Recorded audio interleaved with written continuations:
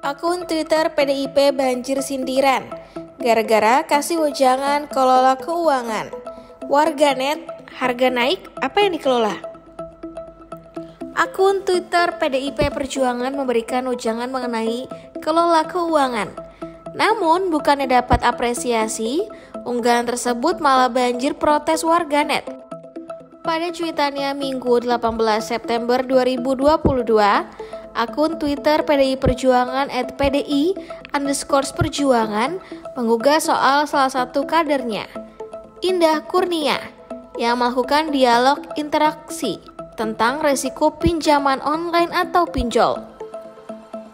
Anggota Komisi 11 DPR RI, Indah Kurnia kembali memberikan edukasi dan sosialisasi keuangan kepada warga. Kali ini ia mengambil tema Pahami manfaat dan resiko pinjaman online sebelum transaksi. Tulis akun Twitter at PDI underscore pejuangan. Lebih lanjut akun tersebut menyebutkan bahwa masyarakat harus semakin cerdas dalam mengelola keuangan. Masyarakat harus semakin cerdas dalam mengelola keuangan, karena setiap aksi ekonomi perlu pemikiran panjang, terutama jika warga tergoda meminjam melalui aplikasi pinjaman online atau pinjol.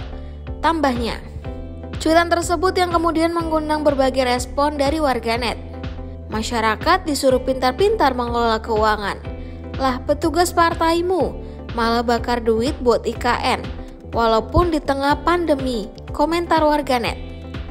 Apa yang mau dikelola?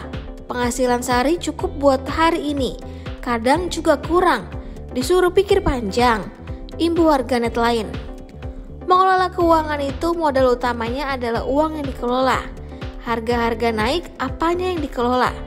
Tambah lainnya, cerdas mengelola keuangan tidak akan berguna jika tidak ada uangnya. Tulis warganet di kolom komentar. Dari mana duitnya? Timpal yang lain. Duitnya dihabisin DPR.